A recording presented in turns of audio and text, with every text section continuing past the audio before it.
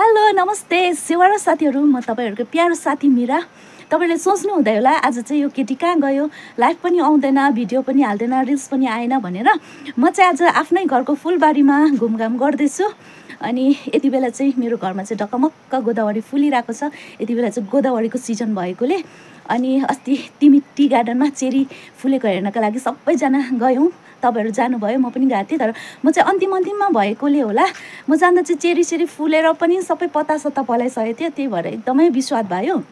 अनि कस्तो हुँदो रहेछ भने चाहिँ त्यो चेरी फुलेको भन्दा चाहिँ धेरै गुणा ज्यादा चाहिँ आफूले मेहनत गरेर फुलाएको फुल फुल्दाखेरि चाहिँ आनन्द आउँदो रहेछ। त्यही भएर आफ्नै गार्डनमा जस्ट होइन फुलहरू हेर्दै यसो निहाल्दै के कस्तो चल्दैछ भनेर फुलको आनन्द लिइरहेको छु अनि हजुरले पनि हजुरलाई पनि म देखाउने छु कि मेरो घरमा चाहिँ कस्तो कस्तो खालको होइन कलर अनि भेराइटीको फुलहरू फुलिरहेको छ भनेर तपाईँहरू सबैजनाले हेरेर इन्जोय गर्नुहोला। लु हेर्नुहोस् है साथीहरू मेरो घरमा फुलेको गोदावरीको कलर्स अनि भेराइटीहरू चाहिँ यस्तो रहेको छ।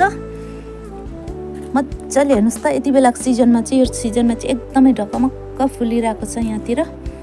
यहाँनिर डिफ्रेन्ट डिफ्रेन्ट कलरहरू छ।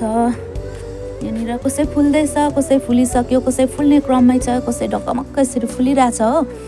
कस्तो दामी हुन्छ कि फुलेको सिजनमा चाहिँ। म नै एक प्रकारको पिसफुल बनाइदिन्छ यसरी मजाले फुलिरहेछ। यो चाहिँ तपाईँहरूले ठुल्ठुलो बोट देख्नु हुँदैछ होला। यो चाहिँ किन यस्तो भयो भन्दाखेरि चाहिँ यसपालि यसको नर्सरी गर्ने टाइममा चाहिँ म एकदमै बिमार भएको थिएँ। त्यही भएर चाहिँ मैले यसपालि यसलाई नयाँ बोट अथवा नर्सरी गर्न पाएन यो चाहिँ पोहोरको मदर प्लान्ट भएको कारणले गर्दाखेरि चाहिँ यसरी ठुल्ठुलो बोट भएर फुलेको छ। हेर्नुहोस् न कस्तो मजाको कलर वाइटले चाहिँ एकदमै वाइट चाहिँ मेरो फेभरेट हो।